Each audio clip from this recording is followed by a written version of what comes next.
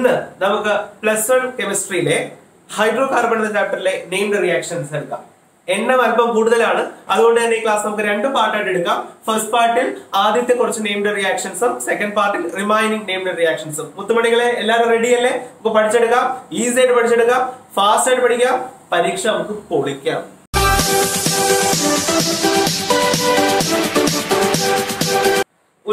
എല്ലാവർക്കും hydro കാർബൺസിന്റെ basics അറിയാം എന്ന രീതിയിലാണ് മുന്നോട്ട് പോകുന്നത്. ആർക്കെങ്കിലും ഹൈഡ്രോ കാർബണിന്റെ ബേസിക്സ് അറിഞ്ഞൂടായെങ്കിൽ ദയവ് ചെയ്ത് കമന്റ് ബോക്സിൽ ഇടുക. നമുക്ക് അതിനു വേണ്ടിയിട്ട് ഒരു സെപ്പറേറ്റ് ക്ലാസ് എടുക്കാം. ഇന്ന് നമ്മൾ ആദ്യം പഠിക്കാൻ പോകുന്ന named reaction Wurtz reaction one of the most important reaction ആണ് വുഡ്സ് റിയാക്ഷൻ വുഡ്സ് റിയാക്ഷൻ ആൽക്കൈന്റെ പ്രിപ്പറേഷൻ കാറ്റഗറിയിലാണ് വരുന്നത്. It's very easy to study പെട്ടെന്ന് പഠിച്ചെടുക്കാം. നോക്കിക്കോ. ഒരു ഹാലോ ആൽക്കൈൻ നിങ്ങൾ എടുക്കാം. എന്താ ഈ ഹാലജൻ ഹാലജൻ എന്ന് പറഞ്ഞാൽ ഫ്ലൂറിൻ ക്ലോറിൻ ബ്രോമിൻ അയഡിൻ ഇത്തരത്തിലുള്ള ആൾക്കാർ ഫംഗ്ഷൻ ഗ്രൂപ്പായിട്ട് വരുമ്പോൾ അതിനെ വിളിക്കുന്ന പേര് ഹാലോ ആൽക്കൈൻ അങ്ങനെയുള്ള ഏതെങ്കിലും ഒരു ഹാലോ ആൽക്കൈൻ നിങ്ങൾ എടുക്കുക. അപ്പോൾ നമുക്കൊരു example C H three C L വളരെ ഈസി ആയിട്ട് എഴുതാവുന്ന എക്സാമ്പിൾ അല്ലേ? C H three C L ഒരു ഹാലോ ആൽക്കൈൻ നമ്മൾ എടുത്തു. ഈ ഹാലോ ആൽക്കൈനെ സോഡിയം മെറ്റലുമായിട്ട് റിയാക്ട് ചെയ്യിപ്പിക്കുക. സോഡിയം മെറ്റൽ എന്ന് പറയുമ്പോൾ എൻ എ അപ്പൊ ഒരു എൻ എ നിങ്ങൾ എടുക്കുക. ഈ റിയാക്ഷൻ നടക്കുന്നത് ഡ്രൈ ഈതർ എന്ന് പറയുന്ന ആളുടെ ഗ്യാസിന്റെ പ്രസൻസിലാണ് ഡ്രൈ എന്ന് വെച്ചാൽ there is no water moisture content ഇല്ല എന്നർത്ഥം. സോ ഡ്രൈ ഈതറിന്റെ പ്രസൻസിലാണ് ഈ റിയാക്ഷൻ നടക്കുന്നത്. സോ ഈ റിയാക്ഷൻ നടക്കണമെങ്കിൽ രണ്ട് ഹാലോ ആൽക്കൈനും രണ്ട് സോഡിയവും വേണം. So we will put two C H three C L two N A ഞാൻ എനിക്ക് തോന്നുന്നു കുറച്ചുകൂടി ഈസി ആയിട്ട് എക്സ്പ്ലെയിൻ ചെയ്യാൻ ഞാൻ രണ്ട് രണ്ട് സെപ്പറേറ്റ് ആയിട്ട് എഴുതാം. അപ്പോ C H three C L രണ്ടെണ്ണം ഉണ്ട് എന്ന് വിചാരിക്കുക. സോഡിയവും രണ്ടെണ്ണം നമ്മൾ എടുത്തിട്ടുണ്ട്. ഇവനെ എവിടെയെങ്കിലും കണ്ടിട്ടുണ്ടോ?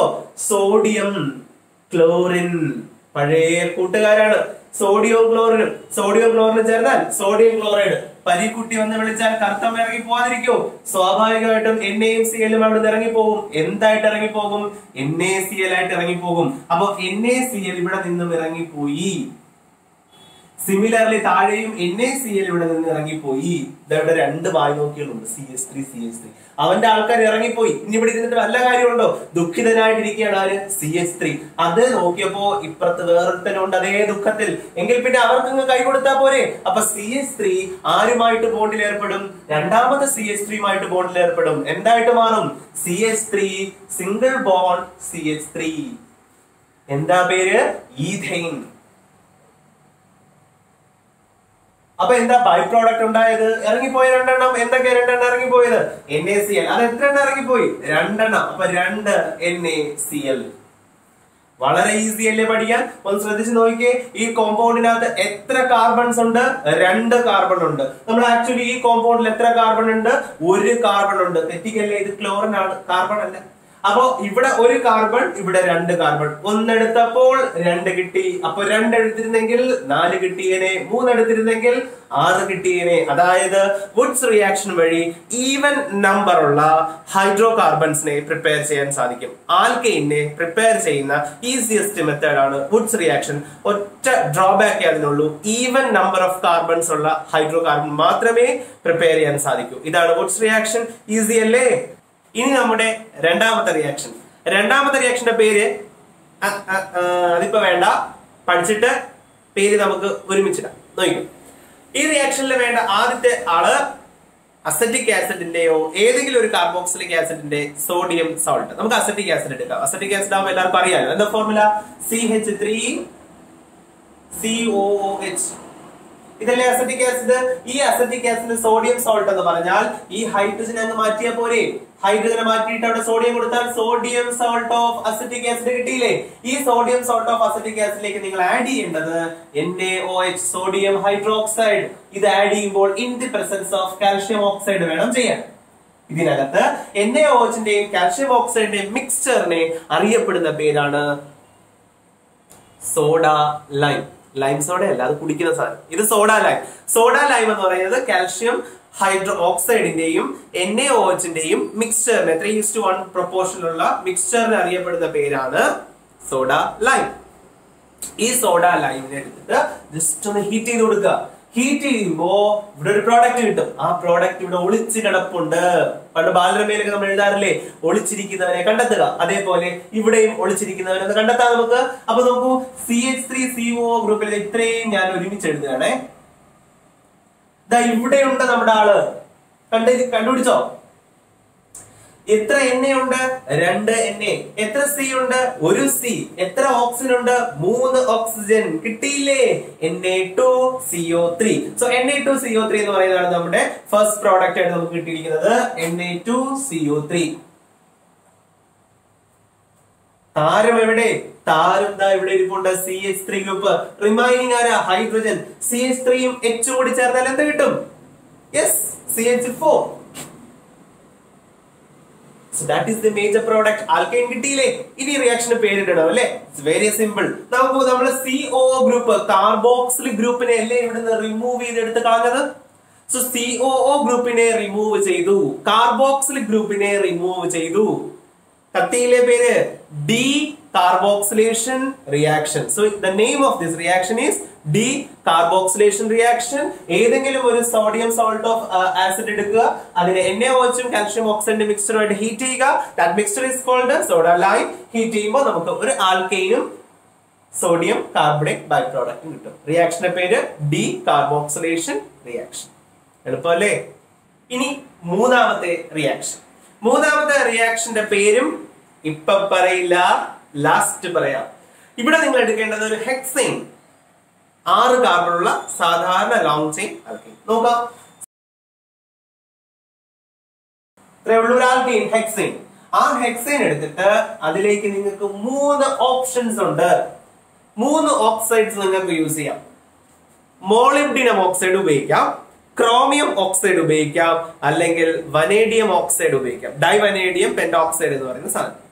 ഈ ഡൈവനേഡിയം പെന്റോക്സൈഡ് എവിടെയൊക്കെ കേട്ടിട്ടുണ്ടല്ലോ? എസ് കോണ്ടാക്ട് പ്രോസസ്സിനകത്ത് അത് എൻസാണ് അപ്പോ ഈ ഡൈവനേഡിയം പെന്റോക്സൈഡോ ക്രോമിയം ഓക്സൈഡോ മോളിബ്രിൻ ഓക്സൈഡോ ഏതെങ്കിലും ഒരു ഓക്സൈഡ് നിങ്ങൾ യൂസ് ചെയ്യുക. നോക്കിയോ ഞാൻ എഴുതാം. C R two O three use ചെയ്യാം. അല്ലെങ്കിൽ M O two O three use ചെയ്യാം. അല്ലെങ്കിൽ B two O five use ചെയ്യാം. ഏതെങ്കിലും ഒരു ഓക്സൈഡ് നിങ്ങൾ യൂസ് ചെയ്യുക. അത് യൂസ് ചെയ്ത് കഴിയുമ്പോഴത്തേക്കും നമ്മുടെ ഈ കോമ്പൗണ്ട് നമുക്ക് വളരെ ഫെമിലർ ആയിട്ടുള്ള മറ്റൊരു കോമ്പൗണ്ടായി കൺവേർട്ട് ചെയ്യപ്പെടും. ആരെന്നറിയാമോ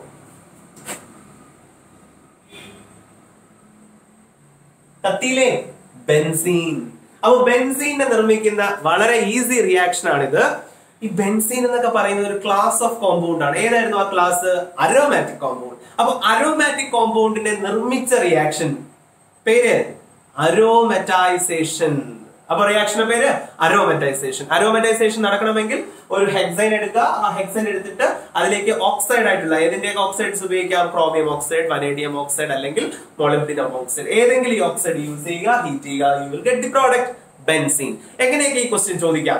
How will you convert hexane to benzene how will you prepare benzene from hexane ഇനി നമ്മളെ കറക്കാൻ വേണ്ടിയിട്ട് ചിലപ്പോൾ ഇങ്ങനെ ചോദിക്കും. ഒന്നുമില്ല നോക്കിയോ C H three C H two four times C H three നമ്മളോടാണ് കളി.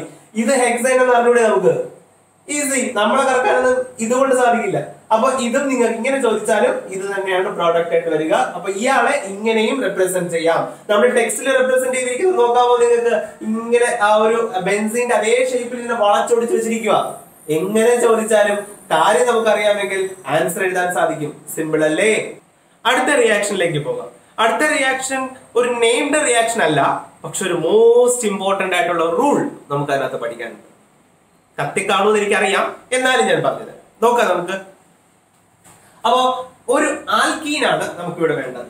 C H three C H double bond C H single bond C H three ഇതിലേക്ക് ഞാൻ ആഡ് ചെയ്യാൻ പോകുന്നത് ഒരു hydrogen halide H B R H C L H I ആരെ വേണോ നിങ്ങൾക്ക് add ചെയ്യാം. ഞാനിപ്പോ തൽക്കാലം എച്ച് ബി ആർ എടുക്കും. ഓക്കെ അപ്പൊ plus H B R reaction നടക്കാൻ പോവുകയാണ് ഇവിടെ ഈ റിയാക്ഷനിൽ എച്ച് ബി ആർ പൊട്ടും. എന്തൊക്കെയായിട്ട് പൊട്ടും?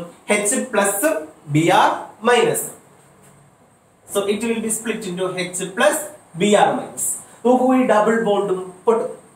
ഒരു പാലം പൊട്ടിയാൽ രണ്ട് കഷ്ണം എന്ന് പറയുന്നത് പോലെ ഒരു സിംഗിൾ ബോണ്ട് ബ്രേക്ക് ചെയ്യുമ്പോൾ അത് രണ്ട് ബാലൻസി ആയിട്ട് മാറും. അപ്പോ ഇവിടത്തെ ഈ ബോണ്ട് പൊട്ടി രണ്ട് ബാലൻസികളായിട്ട് മാറി. ആരെങ്കിലും ഇങ്ങോട്ട് വാ നമുക്ക് ഇവിടെ അറ്റാച്ച് ചെയ്യാം എന്ന കണക്കിലാണ് രണ്ട് ബോണ്ടുകൾ അവിടെ ഇരിക്കുന്നത്. ഓൾറെഡി രണ്ടുപേര് പൊട്ടി പാളീസായിട്ട് അവിടെ ഇരിപ്പുണ്ട്. എച്ച് പ്ലസും ബി ആർ മൈനസും അപ്പൊ എച്ച് പ്ലസിന് വേണമെങ്കിൽ ഇവിടെ വരാം ബി ആർ മൈനസിന് വേണമെങ്കിൽ ഇവിടെ വരാം. അത് അവരുടെ ഇഷ്ടം. അങ്ങനെയെങ്കിൽ നമുക്ക് പ്രോഡക്റ്റ് എന്ത് കിട്ടും? C H three H single bond C H single bond C H three ഇവിടെ ഒരു ഹൈഡ്രജൻ ഇവിടെ ഒരു ബ്രോമിൻ വേണമെങ്കിൽ ചേർത്ത്. ഈ ഹെച്ചും ഹെച്ചും ചേർത്ത് എഴുതി കൂടെ ഒരേപോലത്തെ ആൾക്കാരല്ലേ. അപ്പൊ നമുക്ക് എങ്ങനെ എഴുതാം? ഹെച്ച് ടു എന്ന് എഴുതാം. അപ്പൊ ഇങ്ങനെ ഒരു പ്രോഡക്റ്റ് ആയിരിക്കും നമുക്ക് അവിടെ കിട്ടുക. ഇവിടെ പ്രത്യേകിച്ച് റൂൾ ഒന്നും പഠിക്കാനില്ലേ ഇത് ഈസി ആയിട്ടുള്ള ഒരു കാര്യം. ഇവിടെ നമ്മൾ എടുത്ത ആൽക്കീൻ ഒന്ന് ശ്രദ്ധിച്ചേ. ഇവിടെ ഡബിൾ ബോണ്ട് അല്ലായിരുന്നോ? ഈ ഡബിൾ ബോണ്ടിന്റെ അപ്പുറവും ഇപ്പുറവും ഉള്ള കാർബണിന്റെ എണ്ണം സെയിം അല്ലേ? കാർബണിന്റെ എണ്ണം അപ്പുറവും ഇപ്പുറവും സെയിം ആണെങ്കിൽ അതിനെ വിളിക്കുന്ന പേരാണ് സിമ്മട്രിക്കൽ ആൽക്കീൻ അപ്പൊ ഒരു സിമ്മട്രിക്കൽ ആൽക്കീനിൽ നമ്മൾ ആഡ് ചെയ്യുമ്പോൾ പ്രത്യേകിച്ച് റൂൾ ഒന്നും പഠിക്കാനില്ല. അപ്പൊ പിന്നെ എവിടെയാ റൂൾ പഠിക്കാനുള്ളത്?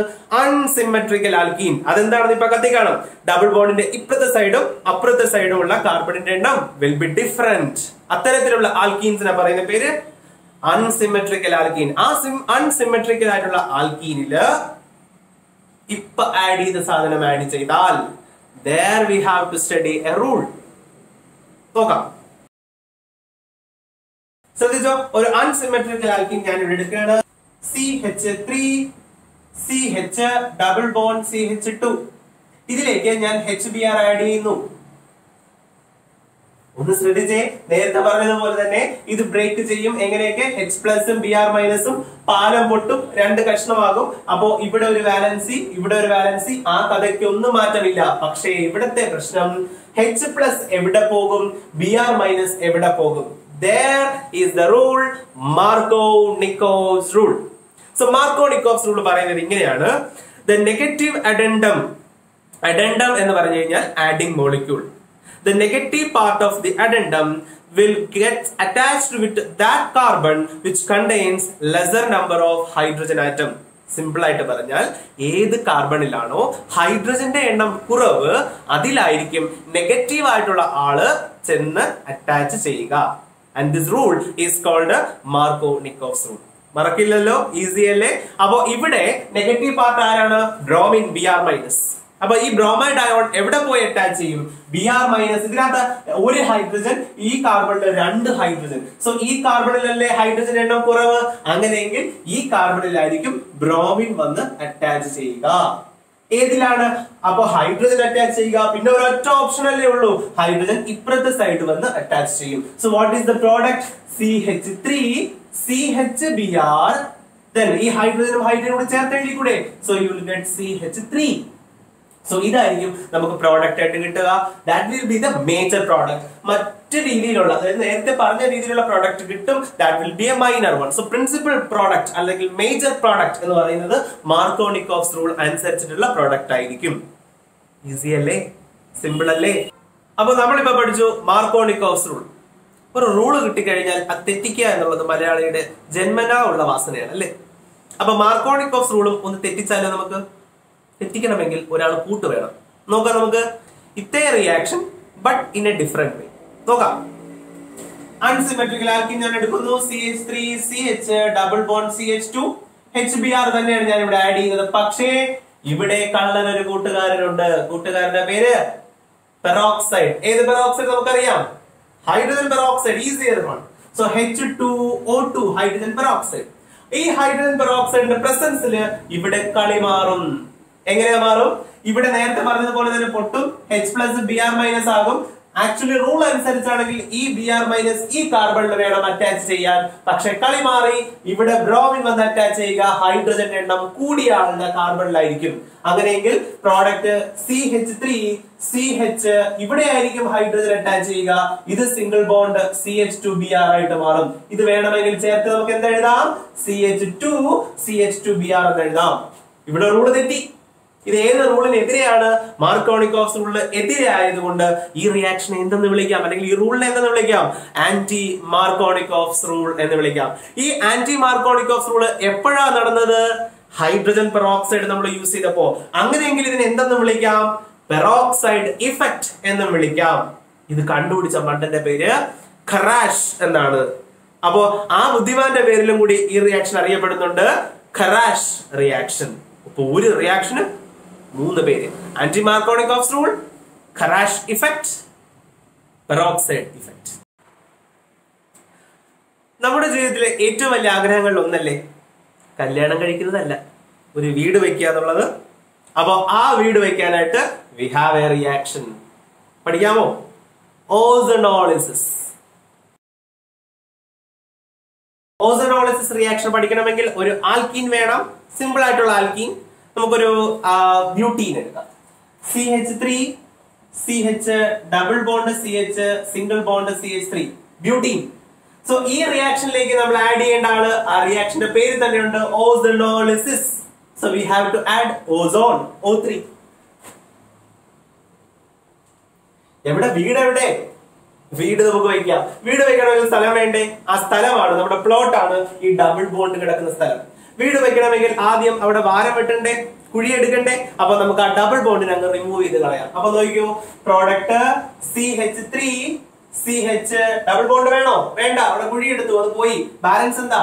C H single bond C H three ഇനി നമുക്ക് വീട് വെക്കാം. വീട് വെക്കാനായിട്ട് ഓസോൺ നമ്മുടെ ഹെൽപ്പ് ചെയ്യും. വലിയ മണിമാളികയൊന്നും അല്ല കേട്ടോ. ചെറിയൊരു കുടിലാണ് നമ്മൾ വെക്കാൻ പോകുന്നത്. അപ്പൊ വീട് നോക്കിയോ ഇവിടെ ഒരു ഓക്സിജൻ ഇവിടെ ഒരു ഓക്സിജൻ ദാ ഇവിടെ ഒരു ഓക്സിജൻ ഒരു വീടായില്ലേ? വീട് വെച്ചില്ലേ? വീടല്ലേ? ഇത് മതി തൽക്കാലം വീട്. അപ്പൊ ഈ വീടിനെ നമുക്ക് ഇനി എന്ത് ചെയ്യാം? പൊളിക്കാം. വീട് പൊളിക്കാനായിട്ട് എന്താ വേണ്ടത്? ജെ സി ബി വേണ്ടേ? അപ്പൊ ഒരു ജെ സി ബി നമുക്ക് വിളിക്കാം അപ്പൊ ജെ സി ബി എവിടെ? എവിടെ J C B? Yes J C B ദാ വരുന്നുണ്ട്. സിങ്ക് കണ്ടോ ജെ സി ബി ഇരിക്കുന്നത്? അപ്പൊ ഈ സിങ്കും വാട്ടറും കൂടി ആഡ് ചെയ്യുക. സിങ്കും വാട്ടറും കൂടി ആഡ് ചെയ്യുമ്പോഴത്തേക്കും ഇത് ഇതാ ഇങ്ങനെ പൊട്ടും. കണ്ടോ? ഈ എക്സ് ഷേപ്പിൽ പൊട്ടും. പ്രോഡക്റ്റ് ഇവിടെ നിന്ന് അങ്ങോട്ട് വായിക്കുക അവിടെ നിന്നും ഇങ്ങോട്ടും വായിക്കുക. ഇവിടെ നിന്ന് അങ്ങോട്ട് വായിച്ചു നോക്കിയേ C H three C H O product കിട്ടി. C H three C H O aldehyde നമുക്ക് കിട്ടി പ്രോഡക്റ്റ് ആയിട്ട്. ഇപ്പുറത്ത് നിന്ന് വായിച്ചു നോക്കുക C H three C H O വീണ്ടും കിട്ടി. അതേ പ്രോഡക്റ്റ് ഇനി പിന്നെ രണ്ട് പ്രാവശ്യം എഴുതണോ? ഇവിടെ ടു എന്ന് കൊടുത്താൽ പോരെ. സോ അങ്ങനെ ആൽഡിഹൈഡ്സിനെയും കീറ്റോൺസിനെയും പ്രിപ്പയർ ചെയ്യാൻ പറ്റുന്ന ഈ റിയാക്ഷനെ അറിയപ്പെടുന്ന പേര് ഓസിനോളിസിസ് സിമ്പിൾ അല്ലേ? ഒത്തിരി സമയം ക്ലാസ് എടുത്താൽ ബോറടിക്കും അതുകൊണ്ട് ഇന്നത്തെ ക്ലാസ് ഇവിടെ വെച്ച് നിർത്തുന്നു. റിമൈനിങ് റിയാക്ഷൻസ് ഉണ്ട്. അത് നമുക്ക് നെക്സ്റ്റ് പാർട്ടിൽ പഠിക്കാം. ഇന്ന് ഇത്രയും മതി. ക്ലാസ് ഇഷ്ടമായെങ്കിൽ ലൈക്ക് ചെയ്യണം. സബ്സ്ക്രൈബ് ചെയ്യാൻ ഒരിക്കലും മറക്കരുത്. നിങ്ങളുടെ സജഷൻസ് കമന്റ് ബോക്സിൽ ഇടുക. കൂടെ ഉണ്ടാവും